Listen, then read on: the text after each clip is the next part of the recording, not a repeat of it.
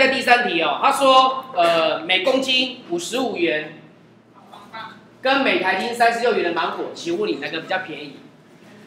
好，注意听哦，这种题目啊，一定会考相同的观念。我先说一下，我当然不跟保证说题目完全一模一样，不会改，但还就考你这种观念。为什么？一种题目就是考那种，比如说你去超市买东西，它有打折的问题，那是类似的。好，不然问你个问题哦，你如果判断这东西便不便宜，如果你不管题目的话，我们就是一个常理来判断啊。比如说 Seven Seven 跟全家在打折，你怎么判断说哪个比较便宜？两个方法对不对？两个方哪两个方法？一个是我一样多的钱。可以买比较多的东西，那是比较便宜，对不对？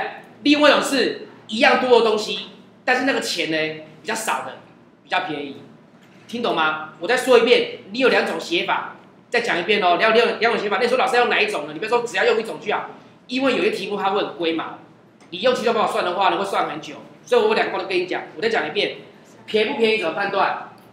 两个方法，一个是一样多，比价钱，对不对？价钱越少的越便宜，另外有是钱一样多，比什么？比那个大多少，对不对？一样多的钱，可以买比较多东西呢，就越便宜嘛。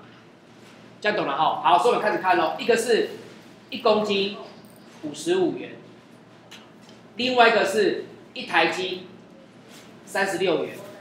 好，请问你，你要么就让这个单位一样，要么就让钱一样多，你觉得哪个会简单？当然是让单位嘛，因为五十五跟三十六怎么变一样的数字？你至少找公倍数，对不对？你至少找五十五跟三十六公倍数，那是还蛮大，对不对？所以我建议你是把这个重量变一样，听懂吗？那如果重量一样的话，比什么？比钱，钱越少就越便宜了。这样会了哦。但是题目呢，很龟毛的地方是，这个是一公斤，这个是一台斤，单位不同，所以怎么办？要先换算，对不对？来，注意看这边哦，看这边，我现在教你怎么换算，你有没有在问我老师怎么换算哦？你就问我就说我不知道。来，我们先看一下一台斤。题目讲的一句话：一台斤等于几公斤？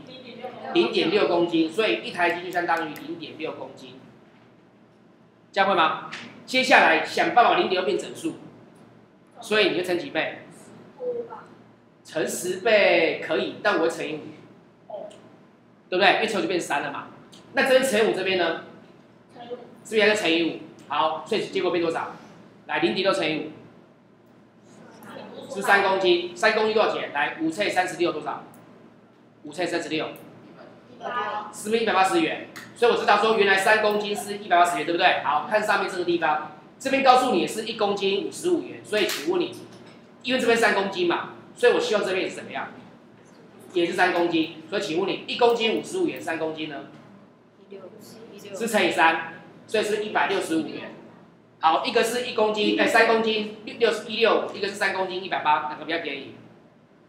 这个吧，对不对？那答案怎么写？答案你要写是每公斤五十五元比较便宜，不要写这个哦，因为题目里这个题目是这个，听懂吗？所以答案是每公斤五十五元。不要把它换算成一公斤。对啊，哦，你的说一公斤可以，那就除以零点六，这样比较好算嘛。我知道你你要一公斤也可以，而且注意听哦。其实我我先说一下，同学的方法也可以。如果你要把它变成一公斤也可以，那你就除零点六。那你这边呢，也除零点六，你这样算也可以，也 OK，没有问题。哦，但你这边来讲是答案是每公斤多少钱最便宜？每公斤五十五元便宜。好，这个你把它写上去。哦，这个观念很重要哦。这题目考几个东西？第一个考你你如何判断便宜的概念。第二个考你是什么？单位换算，这样会吗？好，这个你把它写上去。